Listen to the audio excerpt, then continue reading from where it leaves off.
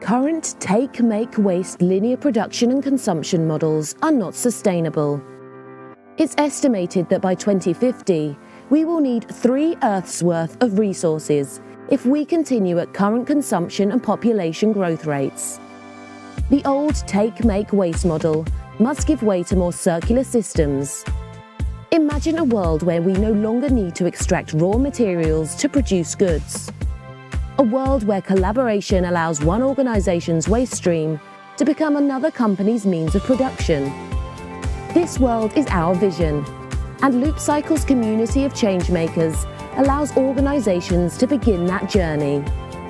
By collecting data and utilising machine learning on resource recycling trends, Loop Cycle aims to drive the circular economy by fundamentally influencing product design and manufacture, ultimately resulting in more products being made using resources that have greater onward value beyond their initial purpose.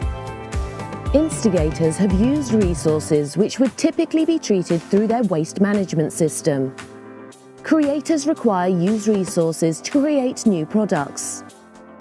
LoopCycle uses artificial intelligence to pair instigators with creators, so that used resources can be directly upcycled to create new products of value. This pairing is called a cycle. Using blockchain technology, a digital material ledger ensures that the cycle is both secure and traceable. This traceability is captured in a cycle code, which appears on the new product. Customers can scan this code using a smart device to discover the provenance of used resources within the product. We are launching the platform soon and already have some Loop Cycle innovators signed up and ready to go. Do you want to join them? Visit loopcycle.io or at loopcycle underscore io and send us a message.